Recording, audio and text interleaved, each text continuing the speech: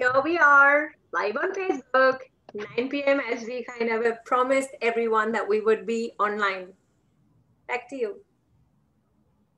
Are we live? We are live.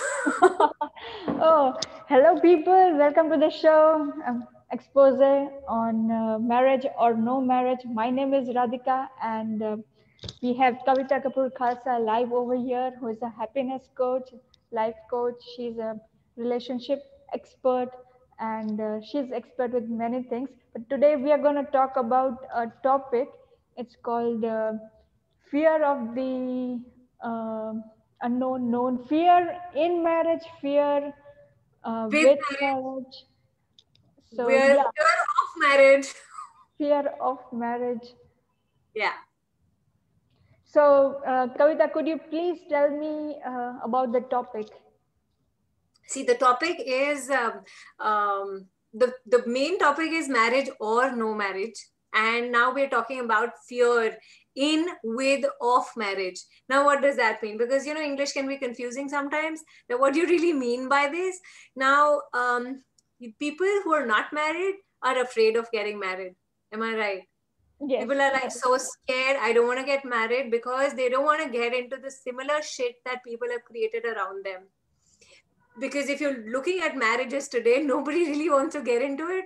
But uh, having said that, there's a lot of people still getting married because they must, they, they are supposed to get married or in a fear of not having a partner or being alone. They're just simply getting married even when they're not choosing to get married. So that becomes a fear component. Uh, that is for people who are not married. Then there are people who are married and they are afraid of being in marriage because they want to maintain that marriage so that divorce doesn't happen or the fights don't happen or arguments don't happen.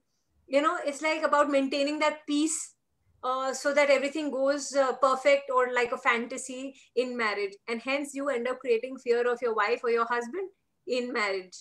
And um, so we've addressed fear of marriage fear in marriage and uh, fear with marriage of course. I mean that's a universal fact. That we're just afraid of something which is unknown some we are afraid of something that is so um where where do you see people? Do you see people who are who kind of very excited about marriage? Apart from the fact that that's the only thing that's been given to you when you were born beta shadi hone wali hai you know? shadi is the only reality that they live for. So they might be, feel excited for some time. But once they've done it if you have to do the second or the third time they're like afraid like how So obviously people will be afraid of second and the third and the thought of it will be very fearful to them. Um, I see a lot of people who are um, about to get married are fearful of the uh, in-laws, relatives, and their uh, uh, concerns and how will they adjust and uh, their life changing with their lives. Uh, what do you have to say about that? So what happens is every time you're told that it's not a marriage or between two people it's a marriage between two families. Now when the family is big guess what happens? If you don't have a family a lot of women don't want that the guy should have a family family you know. Unless you're like a matriarchal society like in south and the northeast. But otherwise um, it's about taking care of so many people in one go. It does create give you cold feet that suppose you just uprooting yourself from one country and going to another country. You don't know the people you don't know the language you don't know how to survive because all this while you were not given the um, education if i would say. Like how do i do this? What do i have to do? It's about learning through that experience and the struggles that you would have to go through of ma- managing your emotions managing your uh, um, largely emotions and the mood swings and stuff and all that comes along with it so I think the fear of change is very big fear. It, it changes everything. So my husband often used to say that, you know, people change after marriage. And I was like, what changes after marriage? I want to know, know that, you know, what exactly changes. Now, what what he actually meant was the dynamics change. Like if you're calling 20 times a day before marriage, you don't end up calling because you already know the person is at home and you're going to anyway meet them, right? Now, does that mean that the love factor has gone down? No, it's more like convenience. So then you end up accusing the other person, oh, you've changed. You're not the same person I met. and really is it even viable or possible that you keep calling like 20 times a day some people do that but that can be really suffocating at times so the change is very we make that change significant we make that change very heavy we make that change wrong because change is always wrong is what people say right? What if we could just simply take change as change and not judge it? And sometimes uh, you know people who are um, uh, excited they your excitement and your fear levels feel the same in the body okay the sympathetic parasympathetic nerves that are going around in your body they feel the same when you're excited and when you're supposed to do bungee jumping. You don't know whether you're excited or you're afraid. But the fear is more familiar so we go with that. So a lot of people might be excited about the thought of marriage but they will because everyone else around them is afraid so they convince themselves i'm afraid of marriage i don't want to marry. As if uh, you're going to go you are going to make the same mistake that the other person is making in their marriage. Not recognizing that you're unique you're different and you could have a different creation and you don't have to cut copy paste the same thing over and over again.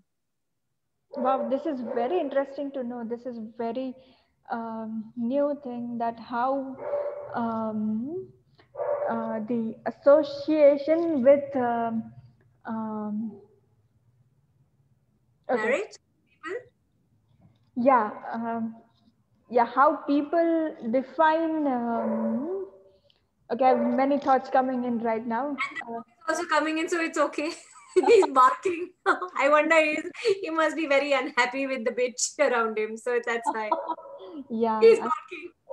Yeah. yeah so we end up creating see if somebody is yelling or barking um, that's exactly the fear in marriage. The dog knows it better than us.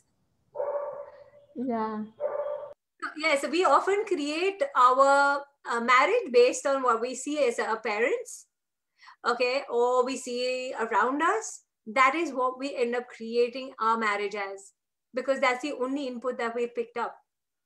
And we if some if you've had parents who've had amazing marriage cool amazing. You know you know how to create it great better than the others. But if you have had a bad experience with marriage you're just simply going to create a lot of fear around marriage. Because first of all we don't even know how marriage should be or how marriage could be created and what does it really mean. So uh, that that's what i have to say on was i afraid of marriage? Definitely yes i was. So it's about also uh, you know i asked my husband about it like what do you think about marriage? Are you were you fearful He's like, yeah, it's about the responsibilities that come along in a marriage, which we're not willing to take. So it's, you know, um, it's not just the responsibility, it's also uh, a lot of change that comes along with marriage. It's a lot of uh, commitment that is required in marriage, a lot of, um, it's a deal and deliver, I would say. But if the deal is not good, the delivery would not be so amazing. Yes, can we name a few fears um, uh, to just uh, identify? Okay, oh, these are fears. First is fear of freedom. That you, oh, I'm going to lose my freedom. I'm going to lose my friends. Uh, my wife would not let me go, or my husband would not let me go. So that's the biggest fear: is is you going to lose your freedom, your commitment. You know, uh, the whole the commitment phobia avoids you to getting into a relationship called marriage which is going to be oh my god i have to stay with the same person for my entire life. That's so boring you know? That's mm. another fear that people kind of create. One that's a big one. That's a big one. And uh, uh, about uh, if you're already married oh my god you know my wife is never going to understand me. The biggest the fear of not being under, understood by your partner. Oh, why wife okay i'm just claiming wives as the problem makers but what if men are also the same um, what about uh, fear for single people who are uh, single? Single people who are single. That that's largely on the commitment levels and uh, the the about the thing that um, it's like a commitment and freedom. Uh, you know, separation. Uh, it's about uh, having people in your life. You have to lose yourself.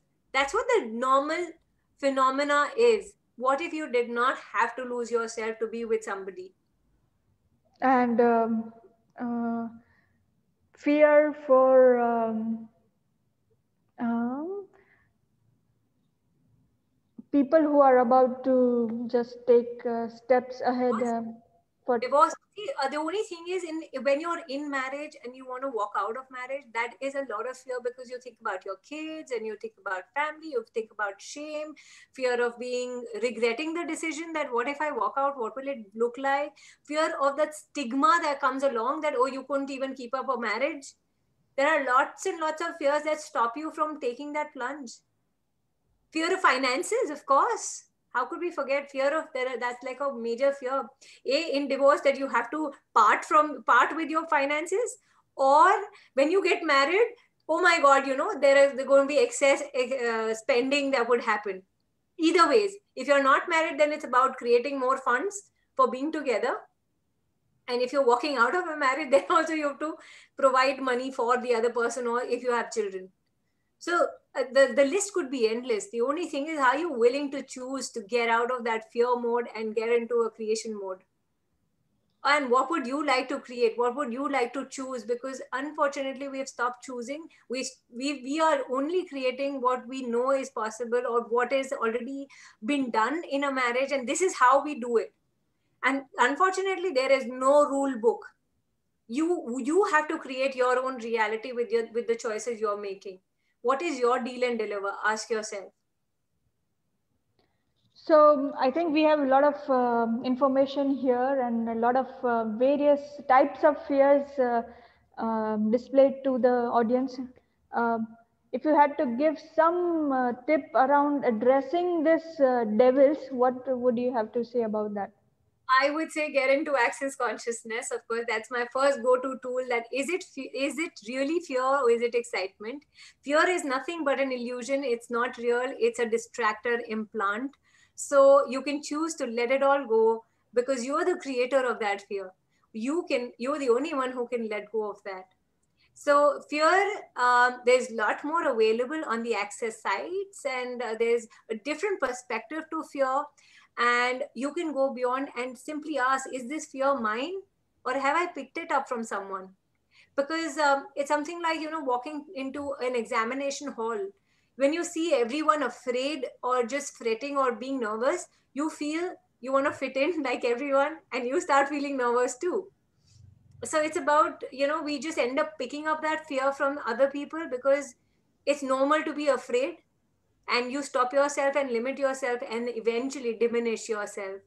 So you have to be in a, a space of asking questions and willing to choose something different what works for you not something that works for other people. Because if i say i want to see you married and see your grandchildren that is my expectation. Would you want to give up yourself and your and if it's not light for you to get married don't don't make that choice. And if it is, that yeah, yeah, that sounds like a plan. I would do this. I want to create babies. So fine, go for it. You know, it's a choice that you have to make. So it's about asking a question, being the lightness, and just enjoying the journey and by having fun, not creating uh, toxicity around it.